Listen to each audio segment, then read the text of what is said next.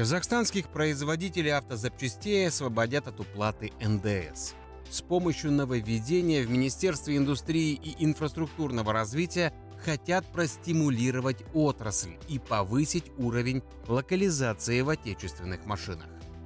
Благодаря этому решению э, производители получат возможность э, увеличить свой сбыт и, собственно говоря, э, увеличить производительность.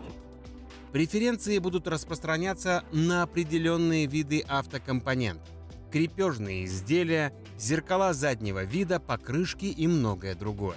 По словам отраслевиков, для них освобождение от НДС – мера долгожданная и нужная. Нам очень легко будет. Э, во-первых, мы можем цену снизить на товар и увеличим объемы. В два раза можем ассортимент увеличить. А цена, естественно, будет снижена. Однако не все разделяют этот энтузиазм. Так экономисты считают, что само освобождение от НДС не решит проблему нехватки отечественных запчастей. Для того, чтобы поставить точку в этом вопросе, предприятия должны быть ориентированы на экспорт, говорят специалисты, а не на внутренний рынок. Чтобы окупить э, свою запчасть, вам нужно ну, сотни тысяч, ну, десятки хотя бы тысяч производить, э, чтобы иметь смысл. Как наличие НДС мешает отрасли автозапчастей развиваться? Заинтересованы ли инвесторы в таком бизнесе? Расскажем в новом выпуске программы «Промышленность». Само по себе производство запчастей в Казахстане относится больше к незанятой нише. И это на фоне того, что в стране растет число производимых автомобилей. По данным Союза предприятий автомобильной отрасли, в прошлом году было реализовано 90 тысяч машин, 70% из них отечественного производства – Однако при таких показателях уровень локализации в автопроме оставляет всего 30%. А потому производителям нужны местные запчасти. То решение, которое освобождает производителей автокомпонентов от уплаты НДС, оно позволит увеличить долю локализации и, ну, соответственно, долю местного содержания в продукте, благодаря тому, что на территории нашей страны будет освоено производство ряда деталей, э, таких как э, внешние дверные ручки, стекла, шины, главные пары, коврики резиновые, ну и ряд других компонентов. По данным аналитиков, спрос на запчасти сегодня превышает предложение в 20 раз. Связано это в том числе и с тем, что средний возраст машин в нашей стране составляет 20 лет, поэтому их часто необходимо ремонтировать. Оригинальные новые запчасти импортного производства растут в цене, из-за чего водителям приходится покупать БУ запчасти. Что касается новых автомобилей, то в них действительно используется ряд компонентов отечественного производства. Правда, их по-прежнему недостаточно. На сегодня в Казахстане уже налажено производство определенных компонентов для транспортных средств и сельскохозяйственной техники. А, к примеру, аккумуляторы. А, есть пластиковые детали, сжатки, водяные и масляные насосы, есть еще подмоторные рамы, масла, фильтры и так далее.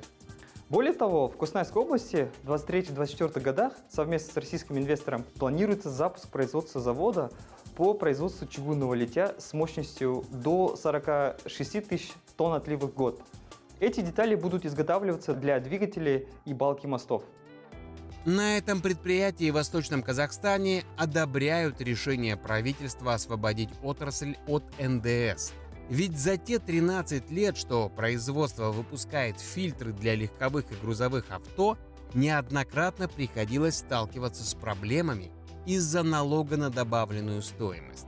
Сырье компания покупает в России и Китае. Сложности возникают после того, как товар поступает на таможню – делятся отраслевики. Постоянно выскакивает скур, так называемый. Скур – это значит цена, э, таможня не согласна с ценой, которую нам отпускает Китай.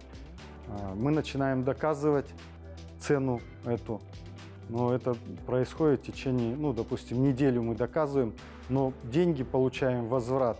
Тот НДС, который мы уже оплатили, э, на разницу мы еще оплачиваем НДС, получается два раза.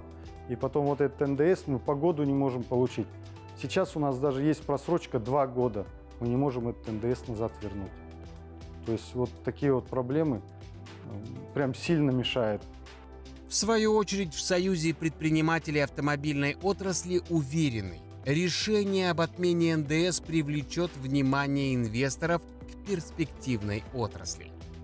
Освобождение от уплаты НДС, оно означает наличие гарантии того, э, что государство заинтересовано в развитии отрасли и государство готово сотрудничать с новыми компаниями, привлекать таким образом все новых и новых инвесторов. Поэтому освобождение от уплаты НДС производителей компонентов, оно, разумеется, делает э, для зарубежных компаний наш рынок более привлекательным.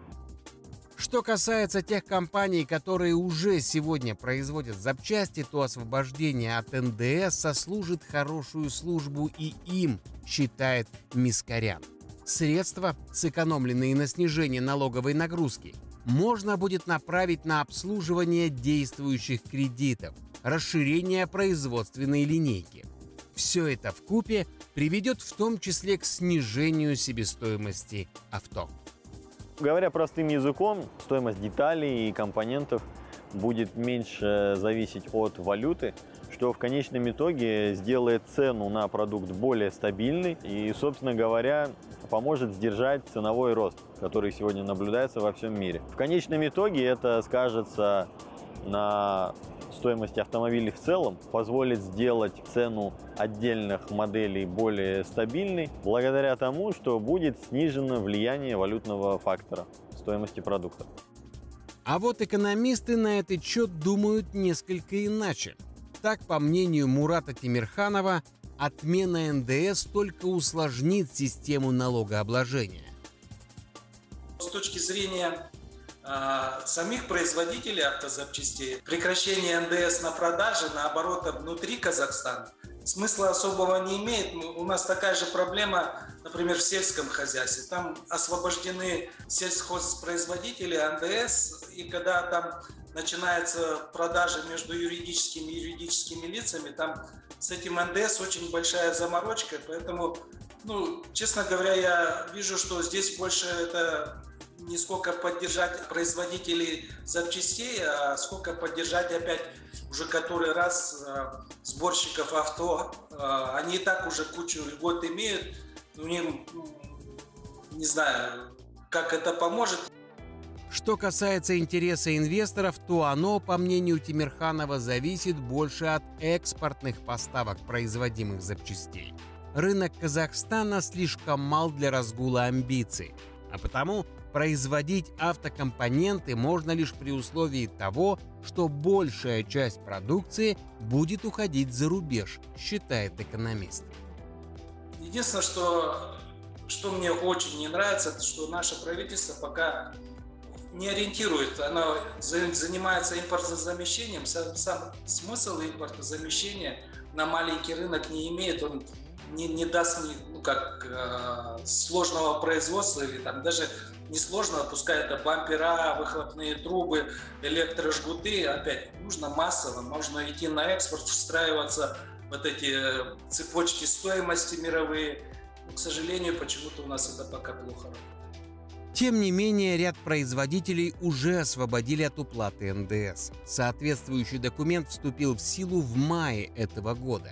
В Министерстве индустрии и инфраструктурного развития уверены, результатом быть.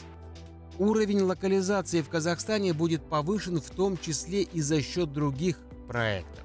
Так, два месяца назад в Костанае появился свой локализационный центр, где планируют производить больше 1200 наименований компонентов. Предназначены они для сельскохозяйственной техники и легковых авто. Кроме того, казахстанское содержание вырастет в том числе после ввода Карагандинского завода по выпуску шин. Его строительство уже началось.